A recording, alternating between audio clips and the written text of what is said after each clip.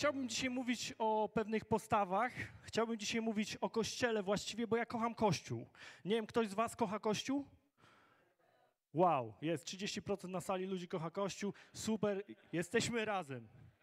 Ale chciałbym dzisiaj mówić o, o pewnych przekonaniach i pewnych legendach, które już są tak stare, że czasami postrzegamy je jako prawdziwe, ale prawdą nie są. I chciałbym zacząć od pewnej historii. Historia działa się przed świętami Bożego Narodzenia. Matka z córką przygotowywały szynkę. Szynkę. Wiecie, i córka pyta tej mamy, mówi, mamo, a dlaczego ty zawsze odkrajasz te, te dupki z szynki po jednej i po drugiej stronie? A mama mówi, no wiesz, córeczko, żeby szynka była soczysta w środku, Mówi, zresztą moja mama mnie tego nauczyła i ja tak robię. I ta córka patrzy z takim zachwytem na tą matkę i mówi, wiesz co, mamo, jak będę dorosła, to ten trik też sprzedam swojej córce.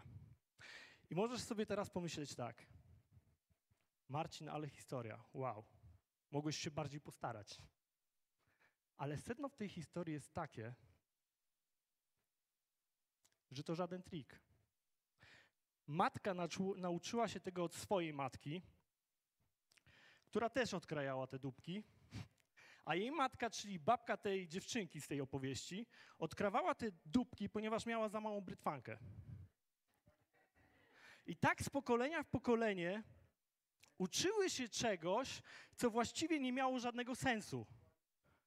I nijak to się miało do jakiejkolwiek prawdy. I myślę sobie tak, jak wiele z tego, kim dziś jesteśmy, jak wiele rzeczy, które nie mają nic wspólnego z prawdą zostało nam przekazane z pokolenia w pokolenie. Jesteśmy w stanie uparcie bronić tych teorii. Ja kiedy wchodzę na Facebooka, to widzę to często. Jesteśmy w stanie pokłócić się o nie. Tymczasem Boże Słowo jest w stanie zweryfikować czasami te wszystkie nasze przekonania. I teraz bardzo ważne. Nasze życie polega na sztuce zadawania właściwych pytań. Wiecie, my mamy ogromne problemy w naszym życiu, ponieważ my zadajemy złe, niewłaściwe pytania, a to prowadzi nas do przyjmowania wszystkiego tak, jakby to było prawdą. Jest taka mało popularna przypowieść w Biblii, którą Jezus opowiada, będąc na imprezie u, u jednego wysoko postawionego faryzeusza. Ja kocham te, ja kocham te historie z tymi imprezami tam w tle. Te, wiecie, jak Jezus tam idzie gdzieś tu, na wesele, tam, na jakąś imprezę. Ale jest taka przypowieść w Łukasza 14 rozdziale od 15 do 24 wersetu. Będziemy czytać Boże Słowo. Posłuchajmy. Na te słowa jeden z obecnych przy stole zwrócił się do Jezusa. Szczęśliwy każdy, kto będzie jadł chleb w Królestwie Bożym. Jeśli czytamy w Biblii jeść chleb, to jest taki klasyczny idiom, który mówi o tym jeść posiłek w ogóle. Jeść posiłek w ogóle. Jezus mu odpowiedział, Pewien człowiek przygotowywał wielkie przyjęcie. W związku z tym zaprosił wielu ludzi. Gdy wszystko było gotowe, posłał swego sługę, by powiadomił zaproszonych. Możecie się już schodzić, stół zastawiony. Wtedy wszyscy po kolei zaczęli się wymawiać. Pierwszy powiedział: Właśnie kupiłem pole i muszę dokonać oględzin. Przepraszam, lecz jak sam widzisz, nie mogę przyjść. Drugi powiedział, kupiłem pięć par bydląt zaprzęgowych i właśnie idę je wypróbować. Przepraszam, le lecz jak sam widzisz, nie mogę przyjść. Kolejny powiedział, to jest hit, dopiero co się ożeniłem, dlatego nie przyjdę. Po powrocie sługa zawiadomił o tym swego pana, wtedy pan domu, rozgniewany, powiedział do sługi, Wyjdź więc czym prędzej na place, odwiedź miejskie załuki i sprowadź mi tu ubogich, niepełnosprawnych, niewidomych i utykających. Sługa wykonał polecenie, wrócił i doniósł. Panie, postąpiłem jak kazałeś i wciąż są wolne miejsca. Wtedy Pan polecił. Wyjdź więc na drogi prowadzące do miasta, idź między zagrody i przekonaj napotkanych, by przyszli. Niech mój dom będzie pełny. Bo mówię wam, żaden z tych, których wcześniej zaprosiłem, nie posmakuje potraw na tym przyjęciu. Ale w topa. Pomyśl przez moment, robisz super imprezę dla swoich znajomych, wszystkich zaprosiłeś, wydałeś mnóstwo pieniędzy, poświęciłeś dużo czasu, wszystko jest przygotowane na tip-top i gości, których wcześniej odpowiednio zaprosiłeś, jeden po drugim rzucają powodami, dlaczego nie mogą przyjść. Ale o powodach za chwilę. Ale wiecie, w tamtym czasie, w tamtej kulturze, jeśli przyjąłeś zaproszenie na taką ucztę, to byłeś zobowiązany, żeby przyjść. Odmowa przyjścia po przyjęciu tego zaproszenia to był skandal. To był skandal. Wiecie, wtedy, wtedy nie było lodówek. Wtedy, wiecie, te zwierzęta bito na miejscu.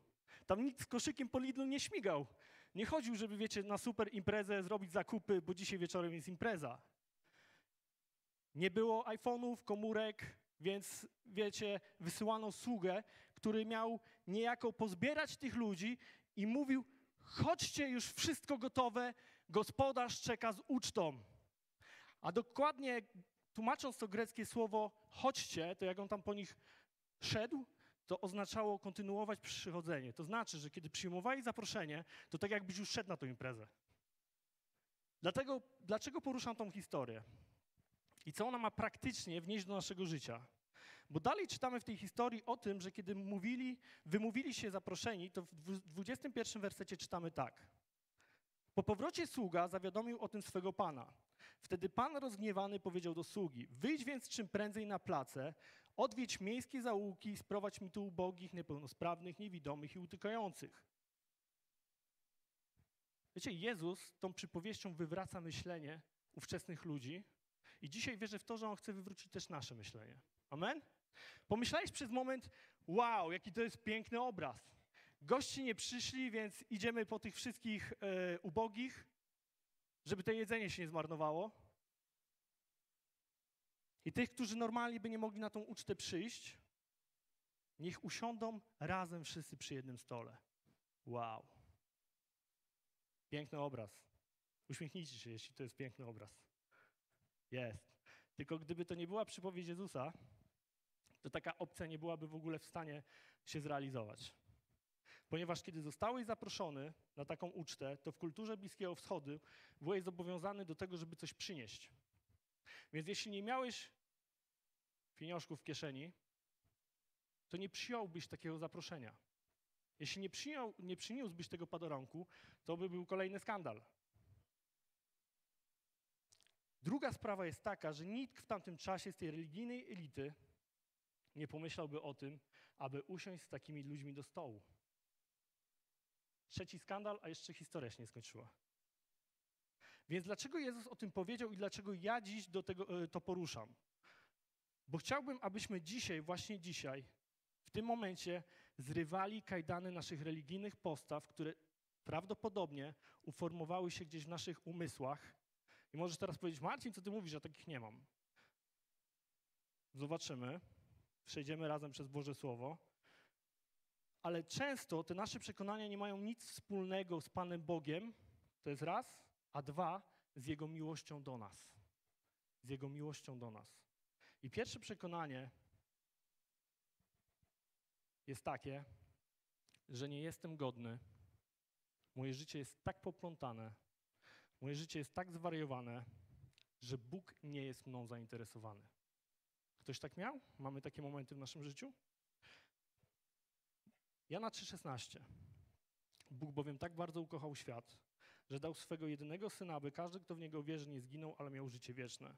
Bóg nie posłał swego syna na świat, aby wydał on na świat wyrok, lecz aby świat został przez niego zbawiony. Ja wiem, że to jest klasyk chrześcijański, ale to jest tak potężne i to jest tak mocne dla naszego życia. Bóg jest Tobą zainteresowany. On jest Tobą zainteresowany. I kiedy przyjmujesz Jezusa do swojego serca, to Twój status w niebie automatycznie się zmienia. Jesteś ukochanym dzieckiem Bożym i On chce Cię prowadzić i w procesie Twoje życie się zmienia.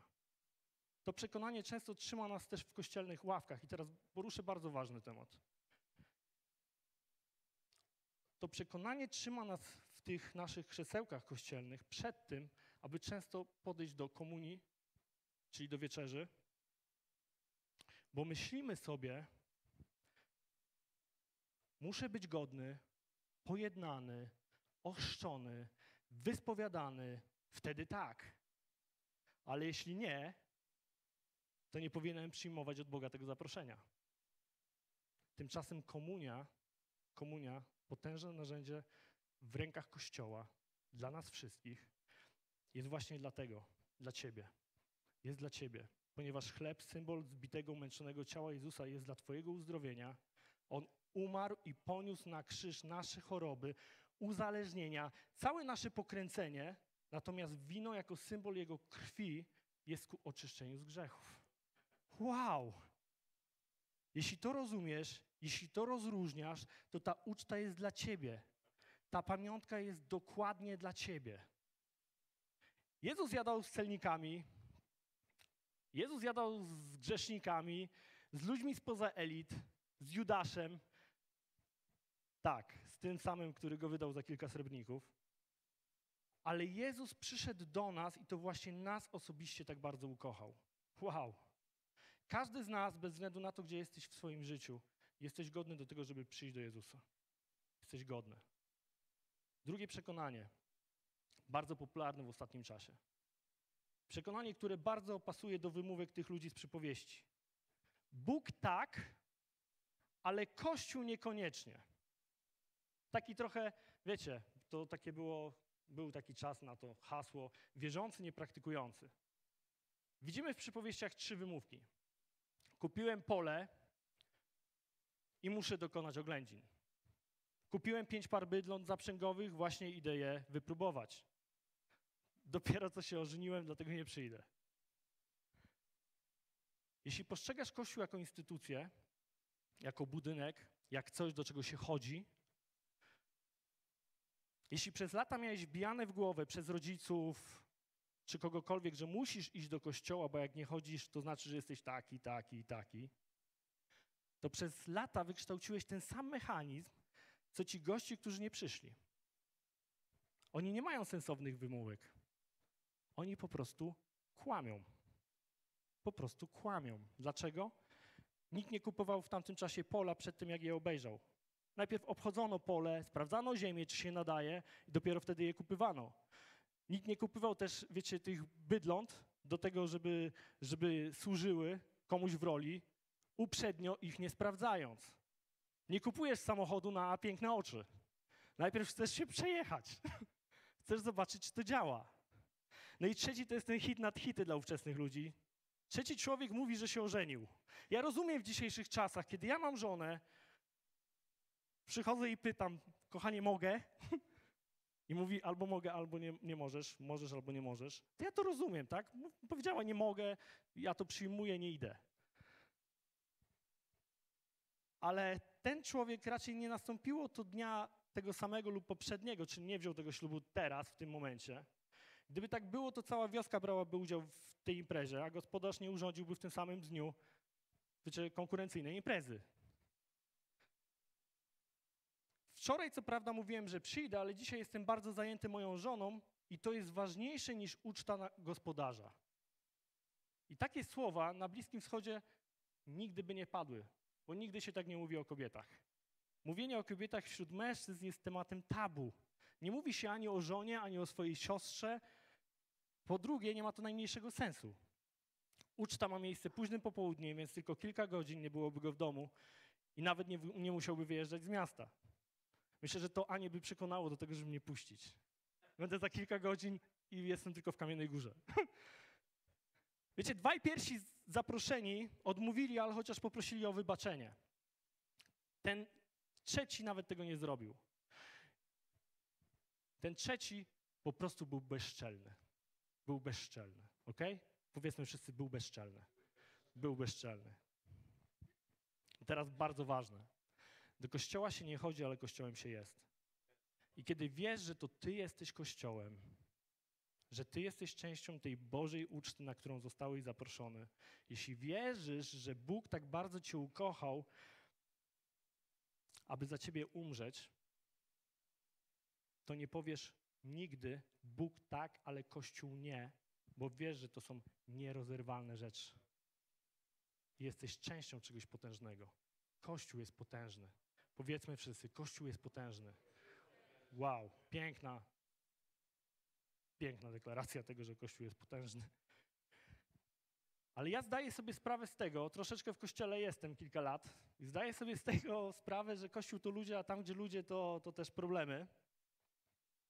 ale ponad te problemy zawsze jest ważniejsze nasze chcenie niż niechcenie. Nasze chcenie niż niechcenie. Wierzę, że każda napotkana przez nas osoba w kościele ma jakieś znaczenie i ma coś do przekazania konkretnie do naszego życia. Naprawdę ja w to bardzo głęboko wierzę. Ludzie są kochani, ludzie są wspaniali, ludzie popychają nas do przodu. Możemy siedzieć i czekać, aż Pan Bóg coś powie. Znacie takich ludzi? Ja znam. Takich ludzi blisko nawet czasami. Że czeka, czeka, aż Pan Bóg przyjdzie i coś powie. Możemy czekać, aż Bóg nam coś wskaże, ale jeśli wierzymy, że Pan Bóg działa poprzez swój Kościół, wierzymy, że Pan Bóg działa przez swój Kościół, to wierzymy w to, że On działa przez innych ludzi. Wow. I wtedy Ty chcesz przebywać w Kościele, bo chcesz, żeby Pan Bóg mówił do Ciebie. Ty chcesz przebywać w Kościele, ponieważ wiesz, że On coś dla Ciebie przygotował. Wow, kocham Kościół. I miałem też chwilę w swoim życiu, że nie chciałem mieć z Kościołem jakimkolwiek nic wspólnego. Ale wiem, że wynikało to tylko i wyłącznie z mojej ignorancji i z niewłaściwych przekonań na temat Kościoła. Niewłaściwych przekonań na temat Kościoła. Najlepsze i największe rzeczy, jakie ja usłyszałem od Pana Boga, to poprzez innych ludzi. Poprzez innych ludzi. Nie szukaj wymówek, bo wymówka zawsze będzie kłamstwem, ale szukaj rozwiązań, bo dzięki temu będziesz miał szansę na spotkanie czegoś wyjątkowego w swoim życiu. Nie szukaj wymówek, żeby nie przyjść do kościoła, ale szukaj rozwiązań, jak przyjść, bo być może Bóg właśnie coś dla mnie dzisiaj przygotował. Wow. Przekonanie numer trzy. Muszę zasłużyć na to, aby dostać się do nieba. U kogoś funkcjonowało? Nie funkcjonowało. Dalej czasami się zastanawiam, jeju, Pan Bóg jest taki dobry dla mnie. Żeby przyjść na ucztę, trzeba było coś przynieść gospodarzowi. Więc żeby wejść do nieba, potrzebuje odpowiednio dużo dobrych uczynków. Jezus w tej przypowieści nie wspomina nic o jakimkolwiek zadośćuczynieniu gospodarzowi. Nic. Nie powiedział ani słowa na ten temat. Zależy mu tylko na tym, by jego dom był pełny. Nie wiem, czy tak macie, ale ja czasami się czuję taki zakłopotany, kiedy ktoś przychodzi do mnie i daje mi taki niespodziewany podarunek. Wiecie, ja nic nie mam. Nie wiem, jak w waszej głowie u mnie się zaraz coś rodzi takiego. Ciekawe, czego chcę. Mm. Być może to jakaś manipulacja. Myślę, że dlatego tak ciężko nam czasami uwierzyć i przyjąć łaskę od Boga, bo czujemy często, że najpierw my powinniśmy jakoś zasłużyć. I wolelibyśmy najpierw zabić jakiegoś baranka, złożyć na ofiarę, i wtedy byłoby łatwiej pogodzić się z tym, że Bóg mi wybaczył, że Bóg mnie ukochał, że Jego łaska jest nade mną, że Bóg mi wszystko daruje. Na tym przekonaniu został stworzony cały system odpustów. W naszym, wiecie, w naszym rozumieniu taka, taka, taki, taki jarmark. Ale generalnie chodziło o to, żebyś kupił sobie łaskę u Boga. Tymczasem Bóg w Efezjan 2:9, 2:8-9 mówi tak. Gdyż z łaski jesteście zbawieni przez wiarę. Nie jest to waszym osiągnięciem, ale darem Boga. Nie stało się to dzięki uczynkom, aby się ktoś nie chlubił. Wow! Tak, Bóg zaprasza cię na darmową ucztę. Bóg zsyła codziennie nowe i świeże pokłady łaski do twojego życia. Codziennie idąc w twoją stronę jest gotowy, ba, on już nawet to zrobił, ściągnął z ciebie cały ten plecak wszystkich tych złych rzeczy, które ze sobą nosiłeś. Niesamowity Jezus. Powiedzmy wszyscy, niesamowity Jezus. Niesamowity Jezus. I czwarte przekonanie, ostatnie już. Chociaż jest ich tak wiele, wiele, wiele i mógłbym tu długo, długo, długo mówić, ale nie do końca wiedziałem, jak to przekonanie rozpocząć, jak je nazwać, ale jest ono związane z pewną postawą, jakimś takim schematem, jakimiś takimi ramami, które niejako w kościele funkcjonują. W każdym kościele. Czy to są ramy moralne, czy etyczne, wizerunkowe, czy związane z jakimś takim, wiecie, nawet ubiorem? Nie wiem, czy wy tak mieliście, ja tak miałem. Marcin, ubierz te nowe spodnie. Wyprasuj tę koszulę. Marcin, tu nie wolno rozmawiać, bądź cicho. Marcin, ksiądz idzie. Pamiętam to jak dziś, jak moja babcia powtarzała mi, jak chodziłem z nią do kościoła, właśnie te slogany. Jezus zaprasza na ucztę każdego. Bogatego, biednego, czystego, brudnego. Nie ma ram, nie ma schematów, nie ma podziału na lepszych i gorszych. Nie ma podziałów na subkultury. No tak, panka tu zaprosimy, ale jak skin tu przyjdzie, to są specjalni liderzy, którzy ich wygonią. Pamiętam, jak się nawróciłem, to nie nosiłem spodni z dziurami do kościoła, bo chciałem być podobny do tych, którzy tam chodzili. Wydawało mi się, że marynarka, ja o tej marynarce, chłopaki w ośrodku to już wiedzą, ale ja często o niej mówię, ale mi się wydawało, że marynarka jest jak zbroja Boża. Ale wiem też, że wtedy nie rozumiałem tego, kim Bóg jest. Nawróciłem się, pokochałem Jezusa, Jezus zmieniał moje życie, chodziłem do kościoła i chciałem być jak inni, jak inni, którzy tam chodzili. Ale Bogu nie o to chodzi. On stworzył ciebie jako ciebie, stworzył cię z daną osobowością, z danym charakterem. Zawsze, zawsze te hasło, te, te, te hasło, przepiękne hasło pod krzyżem Golgoty, zostawiamy nasze grzechy, ale nie zostawiamy naszej osobowości. Wow. Możesz kochać Jezusa i dalej być pozytywnym wariatem, jakim byłeś wcześniej. Ale już bez tego plecaka, który był tak ciężki, że destruktywnie wpływał na twoje życie. Nie rozumiałem do końca tego, kim Bóg jest, czym tak naprawdę jest Kościół i zamknąłem się w wyobrażeniach o tym wszystkim. W wyobrażeniach, bo wszyscy tak wyglądali, ja też chciałem tak wyglądać. Ale wiecie, że w socjologii jest takie zjawisko i nazywa się hiperrzeczywistość? Nie wiem, czy wiedzieliście o tym. Nie wiem, czy zdajecie sobie z tego sprawę, ale żyjemy w dwóch rzeczywistościach. I wcale mi nie chodzi o tą naszą ludzką, normalną i tą duchową, wiecie, nie o to mi chodzi. Jest ta prawdziwa nasza codzienność, nasze zmagania, nasze porażki, sukcesy. I tutaj zawiera się też ta duchowa rzeczywistość, ok? Bo ona jest prawdziwa, zgadza się? Ona jest realna, w niej funkcjonujemy na co dzień. A druga rzeczywistość, w której przyszło nam żyć, to jest hiperrzeczywistość, która podsuwa, którą podsuwa nam kultura, social media, telewizja. Wszystko wokół nas funkcjonuje w tej rzeczywistości, która nie jest prawdziwa, bo kto z Was widział na Instagramie zdjęcie Roberta Lewandowskiego, który robi siku, idzie do umywalki, myje ręce i wycierał spodnie? Widział ktoś? Kto z Was widział zdjęcia swoich znajomych, którzy są na wakacjach i przeliczają ostatnie złotówki na dzisiejszy obiad? Wiecie, ja mam zdjęcia na Facebooku z moją żoną. Jesteśmy piękni, uśmiechnięci. Ba, mamy nawet takie zdjęcie z naszym pieskiem Odim. Wiecie, to już jest ten wiek, że mamy pieska i go kochamy. Syn ma 14 lat, po, idzie w świat za chwilę. Ale nigdy nie wystawiłem zdjęcia na Facebooka, kiedy sprzątam po Odim jego kubkę. nigdy nie wystawiłem zdjęcia, jak na kolanach w łazience szoruje płytki, bo robot Rumba wjechał w jego kubkę i przetańczył całą białą podłogę.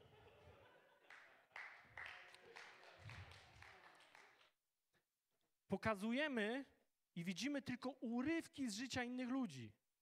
Najczęściej te pełne szczęścia, radości, Oglądając ulubiony film o superbohaterze, nie widzimy jego 24 godzin z życia, tylko widzimy te najlepsze fragmenty, które zmieściły się w dwóch godzinach.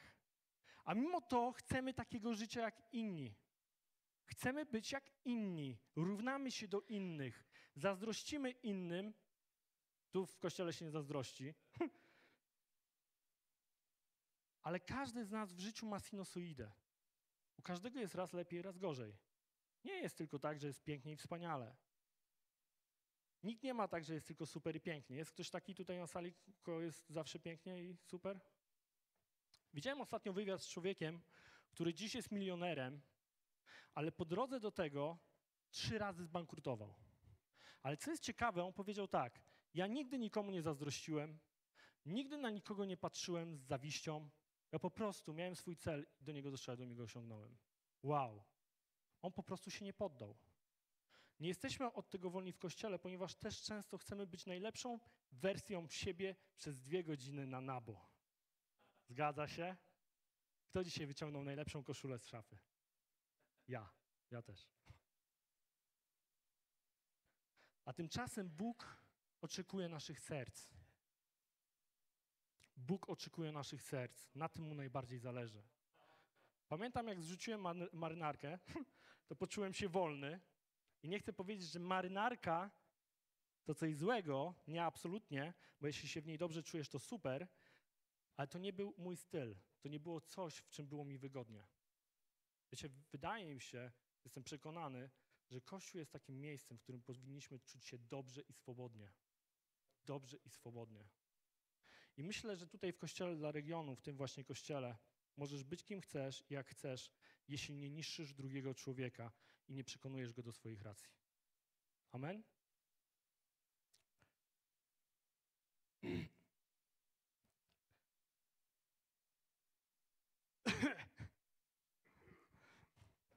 Miało być e. Chciałbym, żebyśmy stali, kochani. Wiecie, Bóg jest wspaniały, Bóg jest dobry i wiecie, i, i Boże Królestwo to też radość. To też radość. I chciejmy się radować, przebywając z Nim. Wiecie, można mówić o poważnych rzeczach po prostu śmiejąc się, bo Bóg jest obok nas. On nas kocha takim, jakim jesteśmy. Wiecie, hiperrzeczywistość to zlepek najlepszych momentów i chwil. Hiperrzeczywistość to jest ułuda i totalne kłamstwo, bo prawda ma 24 godziny. Prawda ma też konkretne imię to to, i to ta prawda kreuje naszą rzeczywistość. I chcę Wam powiedzieć wszystkim dzisiaj, że życie z Jezusem jest nieprawdo, nieprawdopodobną, wspaniałą przygodą. Nieprawdopodobną, wspaniałą przygodą. Życie z Jezusem, tym prawdziwym, nie z opowieści, ale z Twojego własnego doświadczenia z Nim. To najlepsze, co może nas spotkać. I chciałbym się teraz z Wami modlić. I teraz tak. Niektórzy mówią o modlitwie, że mamy się modlić tyle i tyle. Że najlepsza modlitwa to taka i taka. Że bez modlitwy daleko nie zajdziesz. Zgadza się? Chciałbym to wytłumaczyć. Twoja osobista modlitwa jest bardzo ważna. Wow, jest mega ważna w Twoim życiu. Ale modlitwa nie może być rytuałem. Nie może być obrzędem w naszym życiu. Nie można zmusić nikogo do modlitwy. Nie można mówić, że masz tak robić, bo inaczej Bóg nie będzie działał. Wiecie dlaczego? Bo Bóg działa często bez względu na nasze modlitwy. Bo On jest dobry. Bo On jest dobry. Bo jest dobrym Bogiem. On wie, co jest dla nas najlepsze. I wiecie, modlitwa to rozmowa z Panem Bogiem i kiedy zakochujesz się w drugiej osobie, kiedy masz przyjaciela, kogoś takiego, bez kogo nie potrafisz żyć, z kim masz relację, to nikt cię nie zmusza do tego, abyś zadzwonił bądź spotkał się z taką osobą. Nikt cię nie zmusza. Nasza modlitwa jest szczera i prawdziwa wynika tylko i wyłącznie z tego, że chcemy mieć z nim relację. Chcemy mieć z nim relację? Chcemy być blisko? Chcemy wiedzieć, co Bóg ma nam do powiedzenia? To jest modlitwa. Nie regułki kute na pamięć, nie wielomowa, która czasami ma wymusić na Bogu działanie, ale płynąca z serca, szczera rozmowa z Bogiem. Wiecie, Bóg jest wszędzie i wszędzie jest na to gotowy, aby z Nim pogadać. On jest gotowy tu i teraz. Jeśli rozumiesz, kim jest Bóg, to biegniesz do Niego. To biegniesz do Niego jak do swojego taty, aby się wypłakać, albo aby się pochwalić sukcesem. Nie tylko wtedy, kiedy tata jest wypoczęty i uśmiechnięty w niedzielę na kanapie, ale każdego dnia Twój tata, Twój Bóg jest dla Ciebie dostępny. I chciałbym Was zaprosić teraz tutaj na środek, do tego, żebyśmy się modlili. Bez względu na to, z czym tutaj przyjdziesz, Bóg, Jezus tutaj jest obecny i On chce się dalej z Tobą modlić. I wiecie, modlitwy nigdy za dużo. Ja wiem, że już mieliśmy tutaj modlitwę, ale bardzo mocno Bóg mnie porusza w tym, żebyśmy się po prostu modlili o rzeczy, o które Wy się chcecie pomodlić dzisiaj.